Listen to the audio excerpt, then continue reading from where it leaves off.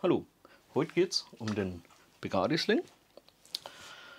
Was er kann, was ihr beachten müsst, wie man ihn einstellt und was er für Funktionen bietet. Wir fangen jetzt erstmal mit einem kleinen Überblick an, Lieferumfang etc. Und danach gehen wir noch mal kurz ins Detail.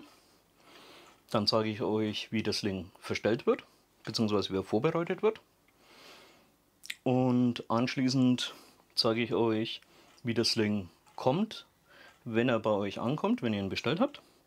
Und wie ihr ihn dann direkt auf euch einstellen könnt. Und danach zeige ich euch die ganzen Features. Da machen wir dann noch einen kurzen Break, weil nicht nur im Räuberzivil, sondern dann eben schon auch mit Plattenträger. Also, fangen wir an. Hier seht ihr die neuen Slings im Überblick. Hinten an der Demo-Waffe montiert ist der Olive-Sling. Und vorne neben dem Magazin, was es damit auf sich hat, das seht ihr dann später bei der Anwendung des Slings, ist der schwarze Sling, der khakifarbene, der multiterra-farbene, der Sling in Flecktarn und der Sling in Pencott Green Zone. Die Slings bestehen aus drei Elementen und die zeige ich euch kurz im Detail. Hier vorne seht ihr als Beispiel den Sling in Pencott Green Zone.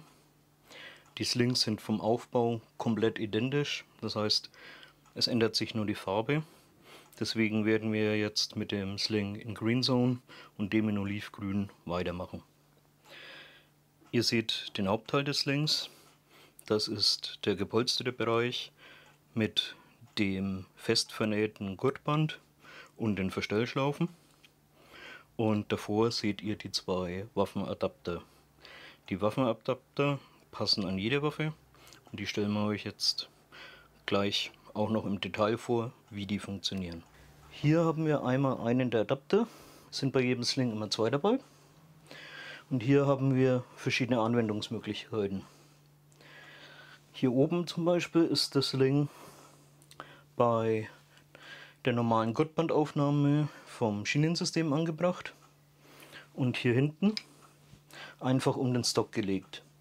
Die gleiche Technik funktioniert natürlich auch, wenn ihr einen ganz normalen Sling Mount habt. Und was wir eben auch noch machen können, ist hier zum Beispiel hinten einfach in einer, im Stock befestigen.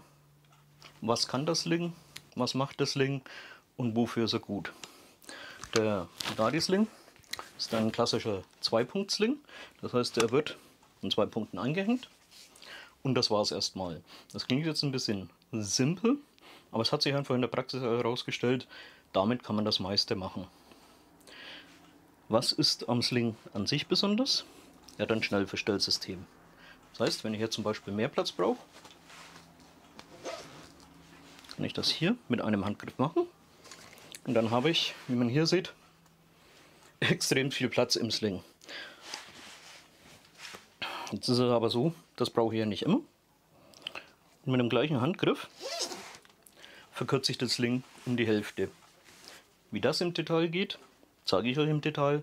Sprich, da gehen wir mal nochmal in der Folge näher ran. Man kann den Sling dann nochmals verkürzen. Und zwar direkt über den Gurt. Und dann sitzt er sehr nah am Körper, das heißt man hat die Hände frei. Und das ist zum Beispiel ein Feature, Entschuldigung, ähm, was durchaus interessant ist, wenn man auf LARPs oder Missionsspielen ist, wo dann eben zum Beispiel auch Nicht-Kombattanten dabei sind oder Leute, die, naja, wie sagt man, so ein bisschen shady sind, wo man nicht genau weiß, wo man ist, dann hat man seine Waffe ganz gern vor sich. Man hat die Hände frei, man kann agieren, aber das Ding ist, so, äh, ist eben da und auch gleich wieder lösbar und einsatzbereit zu machen. Warum finde ich das äh, besonders gut, beziehungsweise warum haben wir darauf geachtet? Das zeige ich, wenn ich jetzt mal kurz umgreife.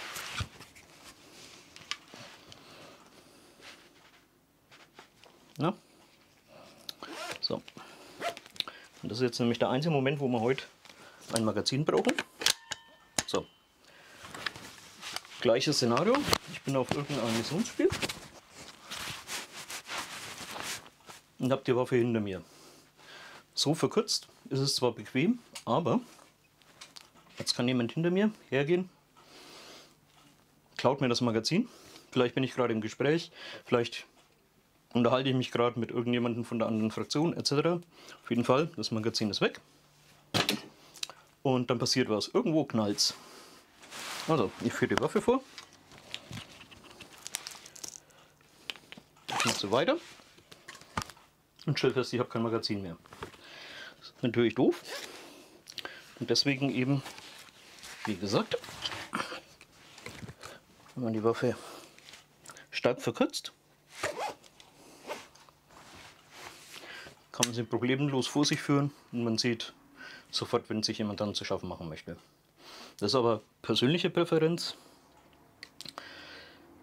wie man das möchte, ob man die Waffe jetzt über dem, mit dem Gurt über der dominanten Schulter, sprich äh, den Gurt an der Schulter trägt, mit der man auch anschlägt, oder ob man es auf der Zweitschulter oder Offhand-Schulter trägt, wo man die Waffe eben nicht anschlägt.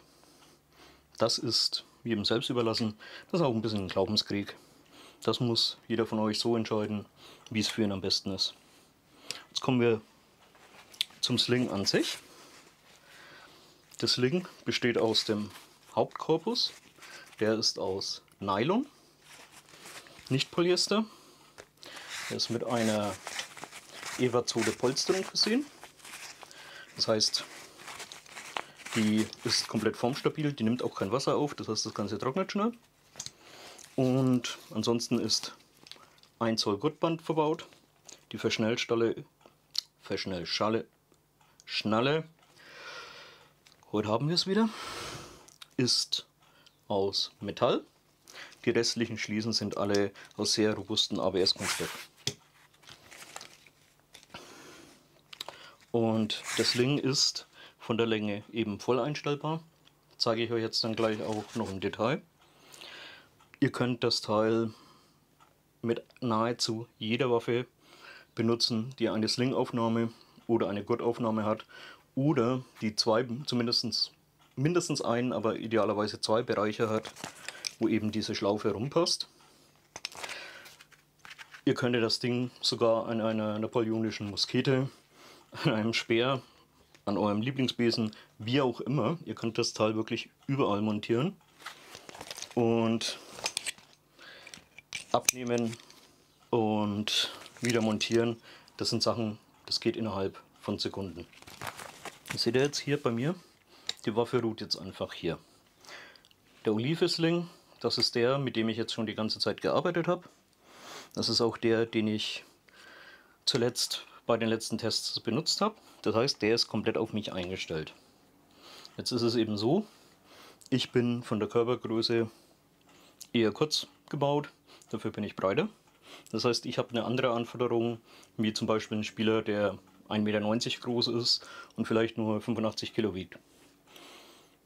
Dementsprechend muss das Ring auch angepasst werden. Es ist also durchaus möglich, dass ihr den Sling bekommt, das erste Mal einfach nur montiert und entweder feststellt, naja, ist mir zu kurz, ist mir zu lang, sitzt nicht an der richtigen Stelle.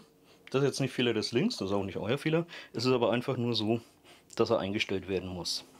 Und als Beispiel zeige ich das jetzt mal. Ich demontiere mal meinen Olivensling. Kurz Off-Kamera und montiere einfach mal den Penkotzlen in der Konfiguration direkt wie er kommt.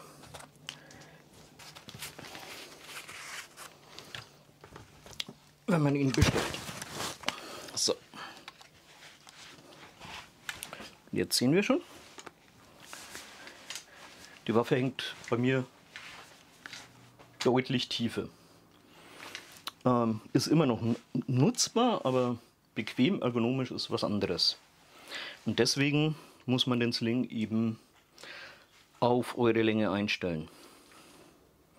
Weil, selbst wenn ich den jetzt auf Maximum verkürze, beziehungsweise jetzt, wo ich ihn auf Maximum verkürzt habe, jetzt sitzt er so, wie er vorhin im Idealfall war was aber nicht sein soll, weil jetzt habe ich keinen Spielraum mehr, ihn enger zu machen, wenn ich mich bewegen will. das Verstellen. Na, geh auf. Zeige ich euch jetzt mal am Beispiel des Oliven, wie ich das bei mir gemacht habe. Jetzt ist das M4 wieder das da und das ist jetzt zum Beispiel meine Konfiguration. Wie gesagt, meine, für meine Körpergröße musste ich das Ganze etwas verkürzen und da bin ich so vorgegangen. Ich habe den Bereich hier vorne auf eine Handbreit quasi zwischen Fastex und Ende des Polsters eingekürzt. Ich habe auch hier eine gute Handbreit zwischen der Metallverstellschnalle und dem Polster angesetzt. Zusätzlich habe ich den Sling verkürzt. Das heißt, dieser Gurt hier, der wurde ausgeschlauft, wurde um ungefähr 20 cm verkürzt, die Enden verschweißt und wieder eingefädelt. Das habe ich gemacht, nachdem ich den Sling ausprobiert habe. Sprich, ich habe ihn mir so eingestellt, wie ich ihn gebraucht habe und erst dann habe ich ihn eingekürzt. Das ist wichtig, denn wenn ihr feststellt, dass ihr mit dem Sling nicht mehr zufrieden seid und ihn nur eingestellt habt, dann könnt ihr uns den Sling natürlich im Rahmen der Widerrufsfrist zurücksenden. Wenn ihr allerdings angefangen habt, am Sling Teile abzunehmen, abzuschneiden etc., geht das natürlich nicht mehr. Aber prinzipiell ist es möglich. Wie gesagt, in meiner Konstellation war das für mich der ideale Weg. Wie ihr euren Sling anpasst, das ist ganz euch überlassen. Den vorderen Bereich, also den vorderen Mount, den hatte ich auch überlegt zu verkürzen, habe ihn aber lang gelassen. Das hat sich bewährt. Was ich aber zum Beispiel verkürzt habe, sieht man hier, das war die hintere Montage an der M4. Das habe ich einfach mit, mit einem normalen, auch wieder lösbaren Knoten gemacht. Und das hat sich vor allem in, ich sage jetzt mal im Ruhemodus, sprich wenn die Waffe entweder vor der Brust oder am Rücken getragen wird, hat sich das so bewährt. Aber muss ich nochmal darauf hinweisen. Ich weiß, ähm, ich klinge da ein bisschen wie der Leiermann, aber das ist die Einstellung auf meine Körpergröße. Probiert das aus. Ich kann mir auch gut vorstellen, dass es Nutzer unter euch gibt, die sagen, nein, ich lasse es hinten länger, ich mache es vorne kürzer oder ich fasse es gar nicht an. Oder eben, wie wir es auch im Detail gezeigt haben, dass man ganz einfach die Schnellverschlüsse entfernt und wirklich nur durch die Gurtbandschlaufen geht. Ist alles möglich. Wie gesagt, der Sling ist sehr flexibel. Aber das sind die Einstelloptionen, die ihr habt und die ihr auch durchgehen solltet, wenn der Sling bei euch ankommt.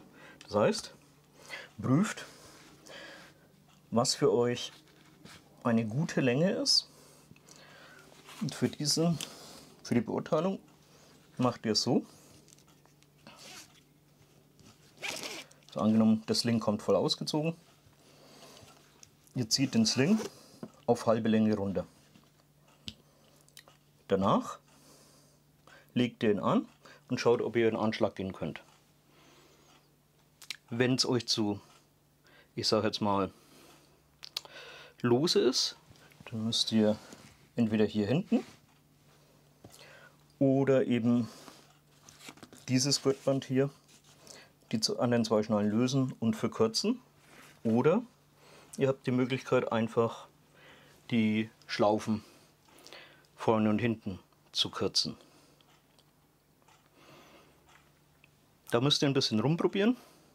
Das heißt, im Idealfall tut euch selbst den Gefallen, wenn das äh, Sling ankommt, packt den nicht in eure Hobbykiste oder in euren Rucksack oder in euren Waffenkoffer und fangt mit dem Verstellen an, wenn ihr das erste Mal auf dem Spielfeld seid, Macht das zu Hause, macht das in aller Ruhe, probiert es durch und wenn ihr die Einstellung gefunden habt, die euch passt, dann bleibt ihr bei der. Hier sehen wir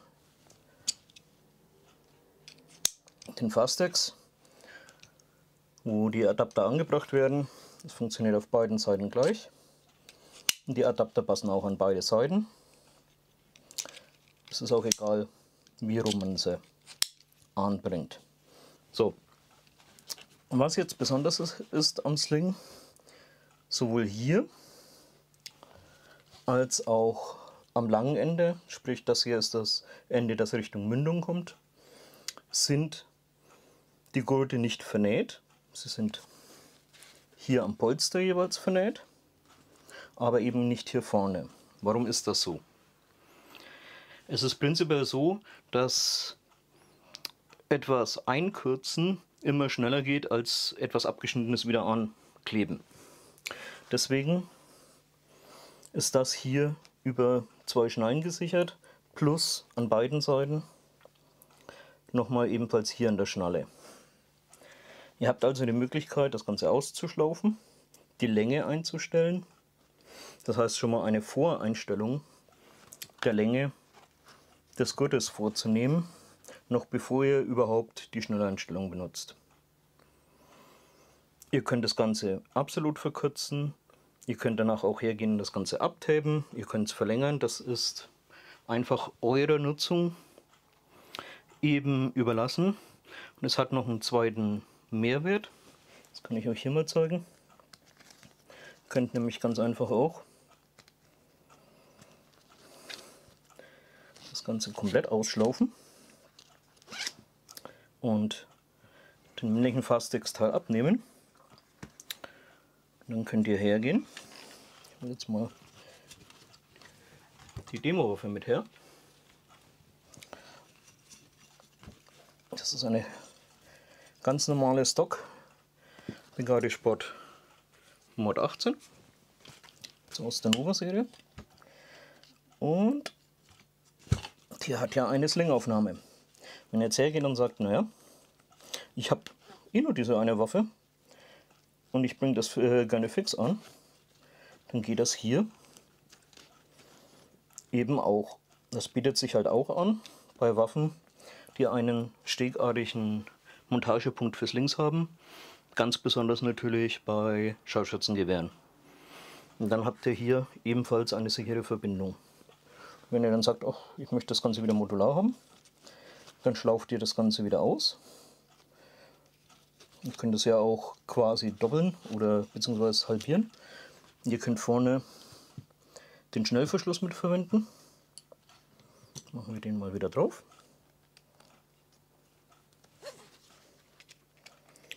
Und zum Beispiel hinten fix einschlaufen.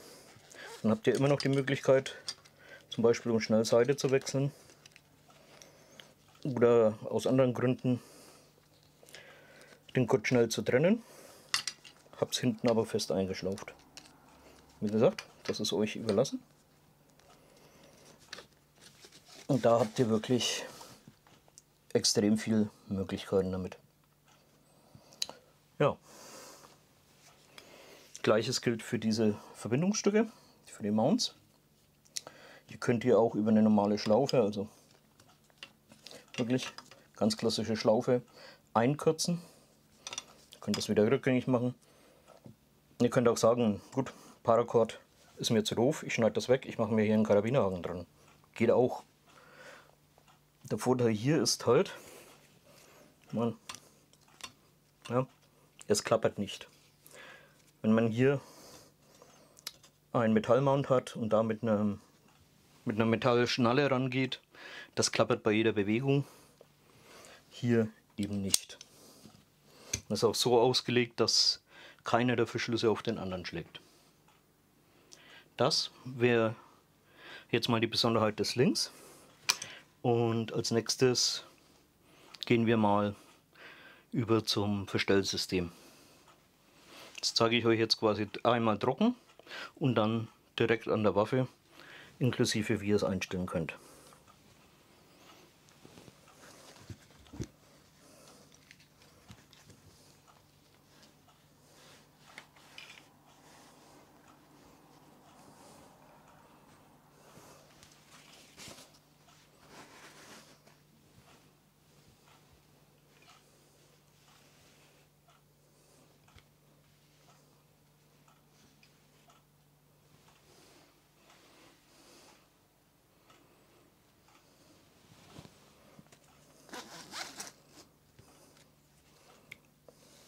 So.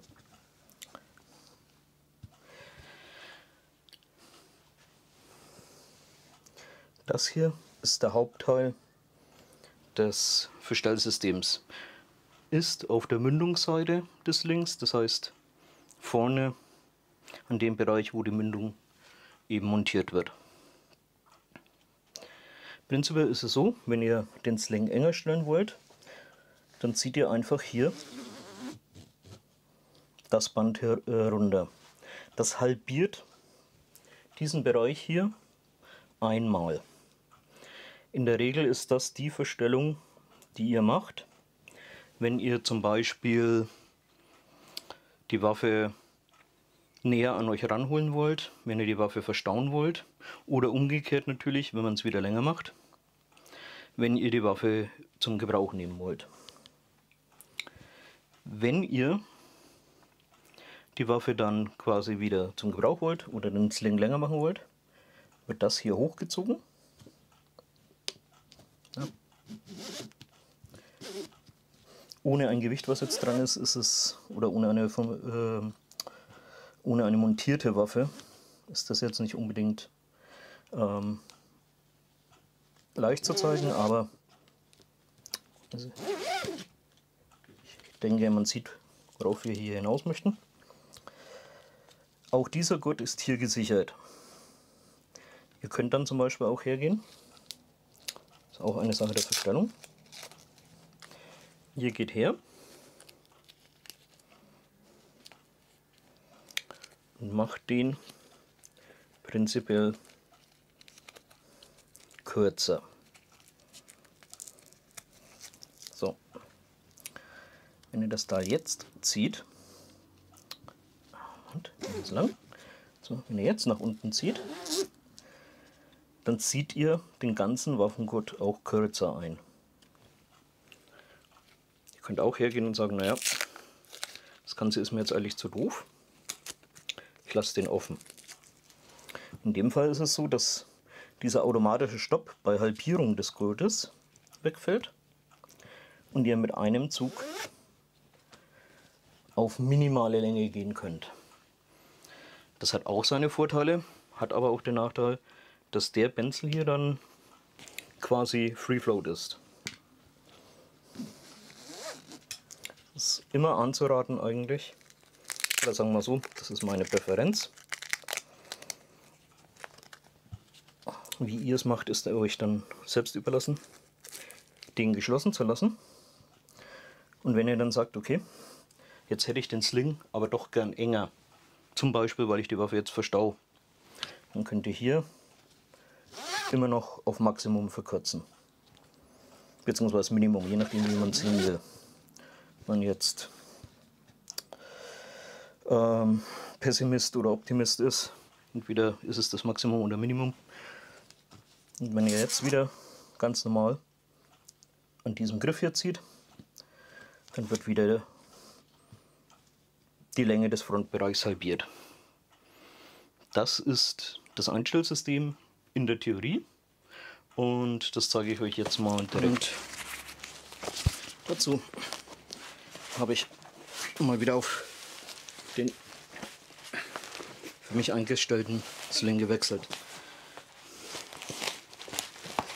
Das ist jetzt die Trageweise über der dominanten Schulter bzw. über der Schulter, die für den Anschlag benutzt wird. Ich kann also die Waffe jederzeit nach vorne bringen bzw. nach oben und ich kann sie neben mir belassen. Momentan, man sieht es ein bisschen, ist es ein bisschen flexibel. Die, der Sling ist jetzt quasi auf halber Länge. Jetzt verkürze ich komplett. Und jetzt ist egal, jetzt kann ich mich bewegen, ich kann mit Ausrüstung arbeiten, ich kann, mit mal, ich kann in meinen Rucksack gehen, alles kein Problem. Ich habe die Waffe hier bei mir und wenn ich sie wieder in Anschlag bringen will, kann ich hier mit einer Handbewegung wieder verlängern und bin wieder frei, die Waffe zu nutzen. Alternativ kann ich sie auch voll verlängern. Dann habe ich auch die Möglichkeit, die Waffe auf Linkhand zu wechseln. Allerdings muss ich dazu sagen, Das ist etwas, was ich persönlich nicht mache. Das sieht man auch. Ich habe damit keine Übung, weil ich zu den Leuten gehöre und ich weiß, das gibt einen, schon fast einen Glaubenskrieg. Ich wechsle tatsächlich die Position, ich wechsle nicht die Schulter. Da können jetzt Hunderte, Tausende von euch sagen, absoluter Blödsinn. Habt ihr wahrscheinlich sogar recht, ich weiß es nicht, aber es ist halt einfach so, wie man so schön sagt, alter Hund lernt keine neuen Tricks. Und deswegen, ich habe die Waffe nahezu immer auf der rechten Seite. Wenn ihr natürlich damit zurechtkommt, nutzt das Feature, dafür ist es da. Wir haben den Slinger extra so gemacht, dass er für jeden passt. Eine weitere Trageart wäre auch noch, wechseln wir mal kurz, eben jetzt so, dass der Sling über die nicht dominante Schulter, sprich über die Offhandschulter oder Magazinschulter, also Magazinhandschulter geht. Man kann den Sling immer noch nah am Körper führen. Man kann hier natürlich auch die Waffe leger vor sich lassen. Und, wie auch schon bei der anderen Variante, wenn ich voll verkürze, habe ich die Waffe entweder so nah am Körper oder aber ich kann die Waffe nach hinten führen, habe die Hände frei und bin komplett uneingeschränkt. Ich kann die Waffe auch wieder vorbringen und auch hier wieder mit einem Handgriff. Ist das Sling verlängert und ich kann mit der Waffe wieder in den Anschlag gehen. Das sind die Möglichkeiten des Links, wenn man ihn als klassischen Zwei-Punkt-Link nutzt. Was ich euch jetzt noch zeigen möchte, dafür muss ich aber kurz umbauen. Das ist die Nutzung als One-Point-Sling. Denn das geht damit auch. Ich habe den Sling jetzt zu einem One-Point umgebaut. Das ist umgebaut. Ich habe ihn relativ stumpf hinten an der Stocktube befestigt und zwar beide Aufnahmepunkte. Funktioniert ebenso. Wer das bevorzugt, sind zwei Handgriffe. Und natürlich steht auch hier wieder frei, das System weiter oder enger zu stellen. Wobei das hier, wenn man es auf halber Länge hat, also auf halber Länge konfiguriert hat, dann ist das eigentlich nicht nötig. Man sieht es, ist schon fast, ja, fast wie maßgeschneidert. Wenn ich die Hand zum Körper nehme, bin ich automatisch an der Waffe. Das ist vor allem dann praktisch eben, wenn man schnell anlegen, schnell ablegen äh, muss oder wenn man einfach an einen One-Point-Sling gewöhnt ist. Und natürlich, das bietet sich eben an bei kürzeren Waffen, sehr kurze M4s, kurze AK-74 und natürlich ganz klassisch MP5, MP7, diese Waffen. Bei mir ist es ja eben die M4. Auch da bin ich ziemlich unflexibel. Ich habe halt M4s aber wie wir schon mehrmals erläutert haben und wie ihr jetzt wahrscheinlich schon mitsingen könnt, das Link passt eben an jede Waffe. Und jede Waffe, die auf dieser Höhe irgendeine Form der Aufnahme hat, die kann eben dann auch so konfiguriert werden mit dem Sling, dass man es als One-Point-Sling nutzt. Ja, das war es eigentlich auch schon mit dem Sling. Ihr wisst jetzt, wie ihr ihn einstellt. Ihr wisst, wie ihr ihn auf euch anpasst. Ihr habt die Features gesehen. Was fehlt jetzt noch? Eigentlich tatsächlich nur, ich sage jetzt mal, die schnöden Details. Das Sling ist wie gesagt aus 100% Nylon bzw. Polyamid. Nylon ist ja eigentlich eher der Markenbegriff dafür. Wir haben sehr robuste ähm, Steckverschlüsse verwendet. Wir haben Metallverschlüsse aus dem Rucksackbereich verwendet. Und das Gurtband ist das gleiche Gurtband, was bei unserem Mäulesystem, das heißt bei den Plattenträgern zum Einsatz kommt. Also an dem Sling werdet ihr lange Freude haben. Ja, wir wünschen euch viel Spaß damit. Wir freuen uns natürlich immer über Feedback, über Kritik, über Anregungen von euch. Und ja, bleibt mir eigentlich nur noch zu sagen, wir sehen uns hoffentlich mal auf dem Spielfeld. Ich wünsche euch was. Macht's gut. Bis zum nächsten Mal.